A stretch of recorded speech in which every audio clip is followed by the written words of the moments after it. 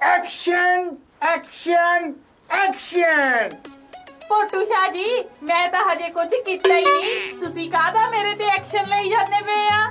Director ਦਾ ਇਹ ਕੰਮ ਹੁੰਦਾ ਹੈ ਕਿ ਜਦੋਂ ਸਾਰਾ ਕੁਝ ਰੈਡੀ ਹੋ ਜੇ ਫਿਰ ਸੈੱਟ ਤੇ ਆ ਕੇ ਬੋਲਣਾ ਐਕਸ਼ਨ ਐਕਸ਼ਨ ਦੇ ਮਸਲੇ ਦੇਖੋ ਜੀ ਫੋਟੋ ਦੇ ਮਸਲੇ। ਤੈਨੂੰ ਨਹੀਂ ਸਮਝ ਆਉਣੀ। ਮਸਲੇ ਦਿਖੇ ਤੇਰੀ ਮੇਰਾ ਸਾਡੀ ਜੋਗੀ ਵਿੱਚ ਰਹਿ ਗਈ। ਰੋਟੀਆਂ ਖਾਉ ਕੇ ਪੱਕੀਆਂ ਹੌਲੀ ਹੌਲੀ ਹੌਲੀ ਹੌਲੀ ਆਇਆ ਪੰਜਾਬ ਵਿੱਚ। ਹੌਲੀ ਹੌਲੀ ਕਰਾਂਗੇ ਤਰੱਕੀਆਂ। ਤੂੰ ਫੱਟਾ। ਕਰਪਸ਼ਨ ਵਾਲੇ ਭੱਜ ਜਾਂਦੇ ਜਦ ਇਹ ਚਲਾਉਂਦਾ ਅਸਲੇ ਬਈ ਫੋਟੋ ਦੇ ਮਸਲੇ ਦੇਖੋ ਜੀ ਫੋਟੋ ਦੇ ਮਸਲੇ ਇਹ ਹੈ ਜੀ ਫੋਟੋ ਦੇ ਮਸਲੇ ਸਤਿ ਸ਼੍ਰੀ ਅਕਾਲ ਜੀ। ਮੈਂ ਹਾਂ ਤੁਹਾਡੀ ਆਪਣੀ ਕਵਿਤਾ ਪੱਲਾ ਉਹ ਪੋਟੂ ਸ਼ਾਹ ਜੀ ਫੜੇ ਗਏ। ਪਰ ਕਿੱਦਾਂ ਫੜੇ ਗਏ?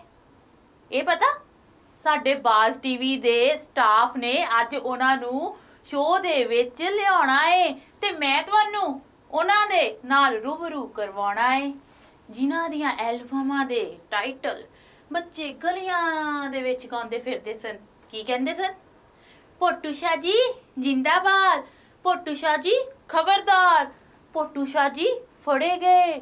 ਪੋਟੂ ਸ਼ਾਹ ਜੀ ਵਿਹਲੇ ਨੇ। ਪੋਟੂ ਸ਼ਾਹ ਜੀ ਨੋ ਟੈਨਸ਼ਨ ਪੋਟੂ ਸ਼ਾਹ ਜੀ, ਠੰਡ ਰੱਖੋ। ਪਰ ਅੱਜ ਅੱਜ ਅਸੀਂ ਪੋਟੂ ਸ਼ਾਹ ਜੀ ਨੂੰ ਠੰਡ ਨਹੀਂ ਰੱਖਣ ਦੇਣੀ। ਹਾਂਜੀ, ਜਿਨ੍ਹਾਂ ਦੀ ਪਹਿਲੀ ਐਲਬਮ ਆਈ ਸੀ, ਸਾਈਕਲ ਮਿੱਤਰਾਂ ਦੀ। ਤੇ ਮੈਨੂੰ ਪਤਾ ਲੱਗ ਗਿਆ, ਤੁਸੀਂ ਵੀ ਟੀਵੀ ਦੇ ਅੱਗੇ ਲਾ ਕੇ ਬਹਿ ਗਏ ਹੋ, ਮਹਿਫਿਲ ਮਿੱਤਰਾ ਦੀ। ਜਿਨ੍ਹਾਂ ਦੀ ਕਮੇਡੀ ਨੂੰ ਪਿਆਰ ਕਰਦੇ ਹਰ ਮੁਲਕ ਦੇ ਪੰਜਾਬੀ ਆ ਅੱਜ ਮੈਂ ਵੀ ਵੇਖਦੀ ਆ।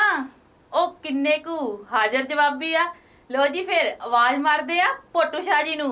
ਪੋਟੂ ਸ਼ਾਹ ਜੀ ਆ ਜਾਓ। ਆ ਗਏ ਆ ਜੀ। ਦੇ ਮਸਲੇ ਇਹ ਹੈ ਜੀ ਫੋਟੋ ਦੇ ਮਸਲੇ।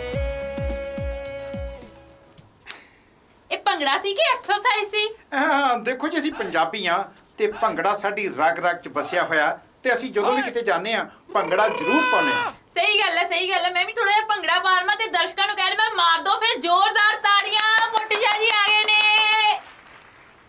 ਨਹੀਂ ਇਹ ਜ਼ੋਰਦਾਰ ਜੇ ਤਾੜੀਆਂ ਨਾ ਵੀ ਵਜਾਉਂਦੇ ਤੇ ਮੈਂ ਇਹਨਾਂ ਦਾ ਕੀ ਵਿਗਾੜ ਲੈਣਾ ਸੀ? ਓਹੋ ਪੋਟੂ ਸ਼ਾਹ ਜੀ ਤੁਹਾਡਾ ਸਾਡੇ ਸ਼ੋਅ ਦੇ ਵਿੱਚ ਨਿੱਘਾ ਸਵਾਗਤ। ਇਹ ਨਿੱਘਾ ਸਵਾਗਤ ਤੁਹਾਨੂੰ ਕਰਨ ਦੀ ਲੋੜ ਨਹੀਂ। ਜਿੰਨੀ ਗਰਮੀ ਪੈਂਦੀ ਪਈ ਆ ਤੇ ਸਵਾਗਤ ਨਿੱਘਾ ਹੀ ਹੋਣਾ ਹੋਰ ਸਾਲਾ ਠੰਡਾ ਹੋਊਗਾ। ਚਲੋ ਕੋਈ ਗੱਲ ਨਹੀਂ ਪੋਟੂ ਸ਼ਾਹ ਜੀ। ਮੇਰਾ ਕਹਿਣ ਦਾ ਮਤਲਬ ਆ ਤੁਸੀਂ ਇੰਨਾ ਲੇਟ ਕਿੱਦਾਂ ਹੋ ਗਏ? ਮੈਂ ਤਾਂ ਕਦੋਂ ਦੀ ਵੇਟ ਕਰੀ ਜਾਂਦੀ ਪਈ ਆ? ਉਹ ਬਸ ਮੈਂ ਦਰਅਸਲ ਨਾ ਰਸਤੇ 'ਚ ਬ੍ਰੇਕਫਾਸਟ ਹੋ ਗਿਆ। ਅੱਛਾ ਅੱਛਾ ਇਹਦਾ ਮਤਲਬ ਤੁਸੀਂ ਬ੍ਰੇਕਫਾਸਟ ਕਰਕੇ ਆਏ ਹੋ? ਉਹ ਕਾਹਨੂੰ ਬ੍ਰੇਕਫਾਸਟ ਕਰਕੇ ਆਇਆ? ਦਰਅਸਲ ਮੇਰੇ ਉੱਤੇ ਟਰੱਕ ਚੜਨ ਲੱਗਾ ਸੀ। ਹਾਏ ਫੇਰ ਕੀ ਹੋ ਗਿਆ? ਬਸ ਫਿਰ ਉਹਨੇ ਫਾਸਟ ਕਰਕੇ ਬ੍ਰੇਕ ਲਾਈ। ਹਾਂ। ਤੇ ਹੋ ਗਿਆ ਨਾ ਬ੍ਰੇਕਫਾਸਟ ਫੇਰ ਵੀ ਤੁਸੀਂ ਫਿਰ ਉੱਥੇ ਡਰ ਕੇ ਖੜੇ ਰਹੇ ਹੋਣੇ ਆ ਤਾਂ ਲੇਟ ਹੋ ਗਏ। ਉਹ ਨਹੀਂ ਨਹੀਂ ਲੇਟ ਮੈਂ ਤਾਂ ਹੋ ਗਿਆ ਰਸਤੇ 'ਚ ਜੈਮ ਲੱਗਾ ਹੋਇਆ ਸੀ ਜੈਮ ਜੈਮ ਬ੍ਰੈਡ ਤੇ ਜੈਮ ਜਿਹੜੀ ਲਾਈ ਦੀ ਆ? ਉਹ ਬ੍ਰੈਡ ਵਾਲਾ ਜੈਮ ਨਹੀਂ ਬਹੁਤ ਸਾਰੀਆਂ ਗੱਡੀਆਂ ਖੜੀਆਂ ਸੀ ਜੈਮ ਲੱਗਾ ਹੋਇਆ ਸੀ ਜੈਮ ਪੋਟੂ ਸ਼ਾਹ ਜੀ ਬਸ ਕਰੋ। ਜੈਮ ਨਹੀਂ ਹੁੰਦਾ ਜਾਮ ਹੁੰਦਾ ਜਾਮ। ਅੱਛਾ ਜਾਮ ਹੁੰਦਾ। ਆ ਜਾਮ ਹੁੰਦਾ ਇਸ ਕਰਕੇ ਮੈਂ ਫਿਰ ਆਮਲੇਟ ਹੋ ਗਿਆ। ਆਮਲੇਟ ਹੋ ਗਿਆ? ਤੁਸੀਂ ਮਤਲਬ ਆਮਲੇਟ ਖਾ ਕੇ ਆਏ ਆ?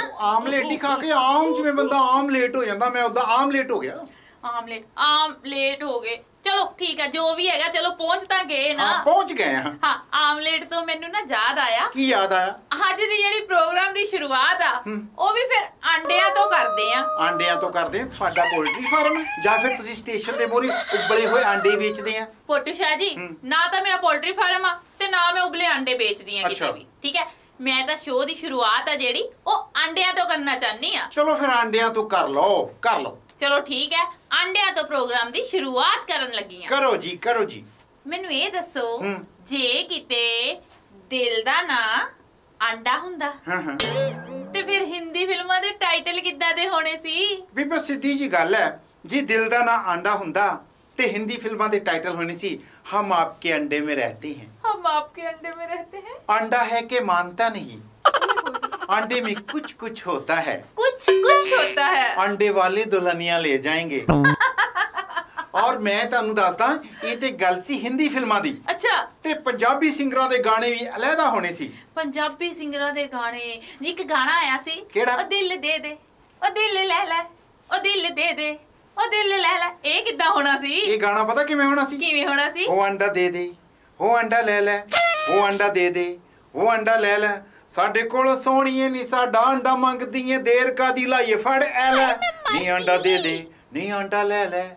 ਇੱਕ ਗਾਣਾ ਆਇਆ ਸੀ। ਕਿਹੜਾ? ਦਿਲ ਚੋਰੀ ਸਾਡਾ ਹੋ ਗਿਆ ਕੀ ਕਰੀਏ ਕੀ ਕਰੀਏ? ਦਿਲ ਚੋਰੀ ਸਾਡਾ ਹੋ ਗਿਆ ਕੀ ਕਰੀਏ ਕੀ ਕਰੀਏ? ਇਹ ਕਿੱਦਾਂ ਹੋਣਾ ਸੀ? ਇਹ ਪਤਾ ਕਿਵੇਂ ਹੋਣਾ ਸੀ? ਹਾਂ।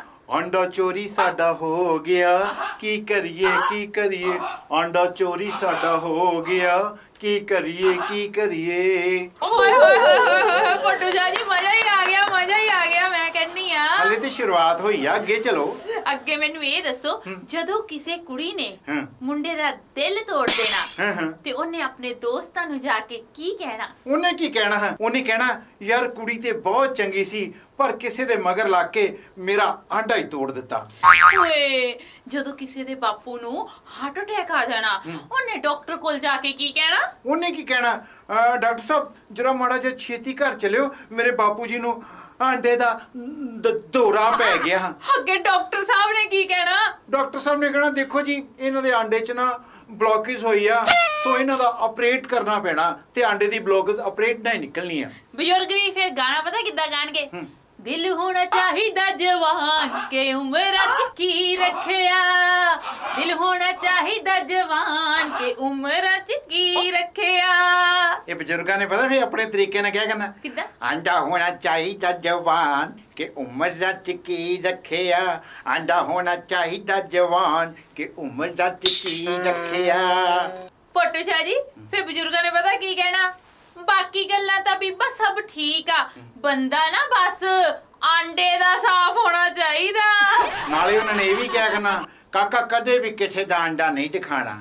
ਪੁੱਤ ਕਹਿੰਦੇ ਆਂਡੇ ਚੋਂ ਨਿਕਲੀ ਬਦਦੁਆ ਬੰਦੇ ਦਾ ਸਰਬਨਾਸ਼ ਕਰ ਦਿੰਦੀ ਆ। ਐਂ ਬਜ਼ੁਰਗਾਂ ਨੇ ਸਲਾਹਾਂ ਦਿਆ ਕਰਨੀਆਂ। ਮੈਂ ਕਿਹਾ ਪੋਟੂ ਸ਼ਾਹ ਜੀ ਤੁਹਾਨੂੰ ਪਤਾ ਮੈਨੂੰ ਪਹਾੜਾਂ ਤੇ ਘੁੰਮਣ ਦਾ ਬੜਾ ਸ਼ੌਂਕ ਆ। ਬਿਲਕੁਲ ਬਿਲਕੁਲ। ਪਰ ਮੇਰਾ ਨਾ ਉੱਥੇ ਜਾ ਕੇ ਦਿਲ ਕੱਚਾ ਕੱਚਾ ਜਿਹਾ ਹੋਣ ਲੱਗ ਜਾਂਦਾ ਹੈ ਤੇਰਾ ਦਿਲ ਕੱਚਾ ਕੱਚਾ ਹੁੰਦਾ ਤੇ। ਜਿਹੜੀਆਂ ਬੀਬੀਆਂ ਬੱਸਾਂ ਸਫ਼ਰ ਕਰਦੀਆਂ ਜਦੋਂ ਬੱਸਾਂ ਵਾਲੇ ਫਿਰ ਗੇੜੇ ਦਿੰਦੇ ਆ ਡਰਾਈਵਰ ਤੇ ਮਨ ਖਰਾਬ ਹੁੰਦਾ ਤੇ ਉਹਨੇ ਫਿਰ ਆਪਣੇ ਘਰ ਵਾਲੇ ਨੂੰ ਬੇਬੇ ਨੇ ਪਤਾ ਕੀ ਕਹਿਣਾ? ਕਿੱਦਾਂ? ਹਾਂ ਕਰਮ ਸਿਆ ਰਸਤੇ ਚੋਂ ਨਿੰਬੂ ਲੈ ਲਈ ਮੇਰਾ ਨਾ ਆਂਡਾ ਕੱਚਾ ਕੱਚਾ ਹੁੰਦਾ ਪਿਆ। ਸਿੱਧੀ ਗੱਲ ਨੂੰ ਕਰਕੇ ਕਹਿੰਦੇ ਹੋ ਟੇਡੀ ਪੋਟੂ ਸ਼ਾਹ ਜੀ ਬੜੀ ਵਧੀਆ ਕਰ ਲੈਨੇ ਹੋ ਕਮੇਡੀ। ਬੀਬਾ ਮੈਂ ਕਮੇਡੀ ਕਰਨੀ ਆ। ਹੋਰ ਮੈਂ ਕਿਹੜਾ ਰੇਤਾ ਬਜਰੀ ਦਾ ਕੰਮ ਖੋਲਿਆ? ਮੈਂ ਸ਼ੁਰੂ ਤੋਂ ਕਮੇਡੀਅਨ ਰਿਹਾ ਤੇ ਕਮੇਡੀ ਦੀ ਮੈਂ ਰੋਟੀ ਖਾਣਾ ਆ। ਅੱਛਾ ਕਮੇਡੀ ਦੀ ਰੋਟੀ ਖਾਣੇ ਆ? ਕਿੱਦਾਂ ਕਮੇਡੀ ਨੂੰ ਰੋਲ ਕਰਕੇ ਖਾਣੇ ਆ? ਨਹੀਂ ਕਰਦੇ ਆ ਮੇਰਾ ਜਿੱਦਾਂ ਲੋਕਾਂ ਦੀਆਂ ਫੈਕਟਰੀਆਂ ਚੱਲਦੀਆਂ ਏਦਾਂ ਹੀ ਮੇਰਾ ਮੂੰਹ ਚੱਲਦਾ ਤੇ ਮੈਂ ਆਪਣੇ ਮੂੰਹ ਦੀ ਕਮਾਈ ਖਾਣਾ ਬੋਲ ਬੋਲ ਕੇ। ਮੈਂ ਕਿਹਾ ਪੋਟੂ ਸ਼ਾਹ ਜੀ ਤੁਸੀਂ ਖਾਣ ਦੀ ਗੱਲ ਕੀਤੀ ਆ। ਸਵਾਲ ਤਾਂ ਮੇਰੇ ਦਿਮਾਗ 'ਚ ਆਪਣੇ ਆਪ ਆ ਗਿਆ। ਆਉਣ ਦਿਓ। ਰੋਟੀ ਸਾਰੇ ਜਾਣੇ ਖਾਂਦੇ ਆ? ਸਾਰੇ ਖਾਂਦੇ ਆ। ਰੋਟੀ ਤੋਂ ਬਿਨਾ ਕੋਈ ਨਹੀਂ ਰਹਿੰਦਾ। ਨਹੀਂ ਰਹਿੰਦਾ ਭੁੱਖੇ ਮਰਨਾ। ਤੇ ਫਿਰ ਜੇ ਕਿਤੇ ਰੋਟੀ ਦਾ ਨਾਂ ਥੱਪੜ ਹੁੰਦਾ। ਤੇ ਭੈਣਾਂ ਨੇ ਗੱਲਾਂ ਕਿੱਦਾਂ ਕਰਨੀਆਂ ਸੀ? ਜੇ ਰੋਟੀ ਦਾ ਨਾ ਥੱਪੜ ਹੁੰਦਾ ਤੇ ਫਿਰ ਜਨਾਨੀਆਂ ਨੇ ਆਪਸ ਚ ਬਹਿ ਕੇ ਗੱਲਾਂ ਪਤਾ ਕਿਵੇਂ ਕਰਿਆ ਕਰਨੀਆਂ? ਕਿਵੇਂ? ਭੈਣ ਜੀ ਮੈਂ ਤੁਹਾਨੂੰ ਕੀ ਦੱਸਾਂ? ਮੇਰਾ ਹਸਬੰਡ ਜਿੰਨੀ ਦੇਰ ਮੇਰੇ ਹੱਥਾਂ ਦੀ ਦੋ ਥੱਪੜ ਨਾ ਨਾ ਚੈਨ ਨਾਲ ਸੌਂਦਾ ਹੀ ਨਹੀਂ। ਚਲੋ ਇਹ ਤਾਂ ਭੈਣਾਂ ਦੀ ਗੱਲ ਹੋ ਗਈ। ਮੈਨੂੰ ਇਹ ਦੱਸੋ ਬਜ਼ੁਰਗਾਂ ਨੇ ਗੱਲਾਂ ਕਿੱਦਾਂ ਕਰਨੀਆਂ? ਬਜ਼ੁਰਗਾਂ ਨੇ ਇਹੀ ਕਹਿਣਾ ਕਾਕਾ ਦੇਖੋ ਬੰਦਾ ਕੰਮ ਕੱਢ ਲਈ ਕਰਦਾ ਪੁੱਤ ਦੋ ਥੱਪੜਾਂ ਕਰਕੇ ਕਰਦਾ ਨਾ। ਅੱਛਾ। ਤੇ ਫਿਰ ਬੰਦਿਆਂ ਨੇ ਢਾਬੇ ਤੇ ਜਾ ਕੇ ਆਰਡਰ ਕਿੱਦਾਂ ਕਰਨਾ? ਢਾਬੇ ਤੇ ਆਰਡਰ ਵੀ ਆਇਆ ਕਰਨੇ ਆ। ਹਲੋ ਬਾਈ ਆ ਇੱਕ ਦਾਲ ਫਰਾਈ ਲਾ ਦੇ ਇੱਕ ਸ਼ਾਹੀ ਪਨੀਰ ਲਾ ਦੇ ਤੇ ਇੱਕ ਤੰਦੂਰੀ ਚਿਕਨ ਲਾ ਦੇ ਤੇ ਨਾਲ 15 20 ਥੱਪੜ ਲਾ ਦੇ। ਤੁਹਾਡੇ ਥੱਪੜ ਬੜੇ ਵਧੀਆ ਹੁੰਦੇ ਆ। ਫਿਰ ਬੇਟਰ ਨੇ ਆ ਕੇ ਕੀ ਪੁੱਛਿਆ ਕਰਨਾ? ਭਾਈ ਥੱਪੜ ਕਿੱਦਾਂ ਦੇ ਚਾਹੀਦੇ ਆ? ਆਹੋ ਉਹਨੇ ਪੁੱਛਿਆ ਕਰਨਾ ਵੀ ਥੱਪੜ ਪਰੌਂਠਾ ਚਾਹੀਦਾ ਜਾਂ ਫਿਰ ਬਟਰ ਥੱਪੜ ਚਾਹੀਦੇ ਆ ਤੇ ਜਾਂ ਫਿਰ ਸਾਦੇ ਥੱਪੜ ਚਾਹੀਦੇ ਆ। ਜਿੱਦਾਂ ਤੁਸੀਂ ਕਹੋਗੇ ਮੈਂ ਤਾਂ ਉਦਾਂ ਦੇ ਲਾ ਦੇਣੇ ਆ। ਮੈਂ ਕਿਹਾ ਫੋਟੂ ਜੀ ਫਿਰ ਤਾਂ ਗਾਣਿਆਂ ਦਾ ਮਾਹੌਲ ਵੀ ਚੇਂਜ ਹੋ ਜਾਣਾ। ਬਿਲਕੁਲ ਬਿਲਕੁਲ ਗੀਤ ਆਇਆ ਸੀਗਾ ਰੋਟੀ ਹੱਕ ਦੀ ਖਾਈਏ ਜੀ ਭਾਵੇਂ ਬੂਟ ਪਾਲਿਸ਼ਾਂ ਕਰੀਏ। ਰੋਟੀ ਹੱਕ ਦੀ ਖਾਈਏ ਜੀ ਭਾਵੇਂ ਬੂਟ ਪਾਲਿਸ਼ਾਂ ਕਰੀਏ। ਇਹ ਗਾਣਾ ਫਿਰ ਇਦਾਂ ਹੋਣਾ ਸੀ ਉਹ ਥੱਪੜ ਹੱਕ ਦੇ ਖਾਈਏ ਜੀ ਭਾਵੇਂ ਬੂਟ ਪਾਲਿਸ਼ਾਂ ਕਰੀਏ। ਥੱਪੜ ਹੱਕ ਦੇ ਖਾਈਏ ਜੀ ਭਾਵੇਂ ਬੂਟ ਪਾਲਿਸ਼ਾਂ ਕਰੀਏ। ਤੇ ਜੇ ਰੋਟੀ ਦਾ ਨਾ ਥੱਪੜ ਹੋ ਹੀ ਗਿਆ। ਤੇ ਨੂੰ ਸੱਸ ਦੀਆਂ ਗੱਲਾਂ ਕਿੱਦਾਂ ਹੋਣੀਆਂ? ਨੂੰ ਸੱਸਦੀਆਂ ਗੱਲਾਂ ਐ ਹੋਣੀਆਂ ਨੂੰ ਨੇ ਕਿਹਾ ਕਰਨਾ ਐ ਬੀਬੀ ਜੀ ਮੈਂ ਨਾ ਆਟਾ ਗੁੰਨ ਦਿੱਤਾ ਤੇ ਥੱਪੜ ਤੁਸੀਂ ਆਪੇ ਲਾ ਲਿਓ। ਅੱਜ ਤਾਂ ਆਫਿਸ ਦੇ ਵਿੱਚ ਲੰਚ ਹੁੰਦਾ ਲੰਚ ਬ੍ਰੇਕ ਹੁੰਦੀ ਆ। ਹੂੰ ਹੂੰ। ਤੇ ਫਿਰ ਉਹਦਾ ਨਾਮ ਕੀ ਹੋ ਜਾਣਾ ਸੀ ਬਦਲ ਕੇ? ਬਾ ਫਿਰ ਲੰਚ ਬ੍ਰੇਕ ਦਾ ਨਾ ਹੋ ਜਾਣਾ। ਆਜੋ ਭਾਈ ਸਾਹਿਬ ਛਕ ਲਈਏ ਥੱਪੜ ਬ੍ਰੇਕ ਹੋ ਗਈ ਆ।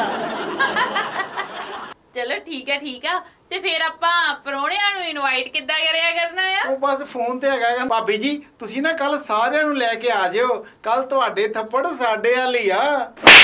ਕਿਆ ਬਾਤ ਹੈ ਪੋਟੂ ਸ਼ਾਹ ਜੀ ਕਿਆ ਬਾਤ ਹੈ ਮੈਂ ਕਿਹਾ ਪੋਟੂ ਸ਼ਾਹ ਜੀ ਤੁਸੀਂ ਤਾਂ ਬੜੇ ਹਾਜ਼ਰ ਜਵਾਬੀ ਨਿਕਲੇ। ਪਰ ਮੇਰਾ ਦਿਲ ਕਰਦਾ ਹੈ ਕਿ ਇੱਕ ਅੱਧਾ ਸਵਾਲ ਮੈਂ ਤੁਹਾਨੂੰ ਹੋਰ ਪੁੱਛੇ ਹੀ ਲਵਾਂ। ਮੈਂ ਕਿਹਾ ਭਾਵੇਂ ਜਿੰਨੇ ਮਰਜ਼ੀ ਪੁੱਛ ਪੁੱਛੋ। ਮੈਨੂੰ ਇਹ ਦੱਸੋ ਸਭ ਤੋਂ ਜ਼ਿਆਦਾ ਬਰਫ਼ ਕਿੱਥੇ ਪੈਂਦੀ ਆ? ਸਿੰਪਲ ਸਵਾਲ ਹੈ ਸਭ ਤੋਂ ਜ਼ਿਆਦਾ ਬਰਫ਼ ਪੰਜਾਬ 'ਚ ਪੈਂਦੀ ਆ। ਆ ਸ਼ਾਹ ਜੀ ਹੁਣ ਤੁਸੀਂ ਹਾਰ ਗਏ। ਮੈਂ ਹਾਰ ਗਿਆ ਮੈਂ ਇਲੈਕਸ਼ਨਾਂ ਤੇ ਖੜਾ ਜਿਹੜਾ ਹਾਰ ਗਿਆ।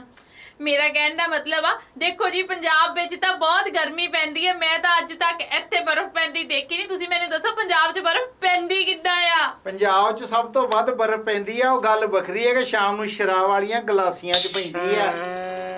ਹੁਣ ਮੈਂ ਤੁਹਾਡੇ ਕੋਲ ਇੱਕ ਸਵਾਲ ਪੁੱਛਾਂ? ਮੇਰੇ ਕੋਲੋਂ? ਹੂੰ।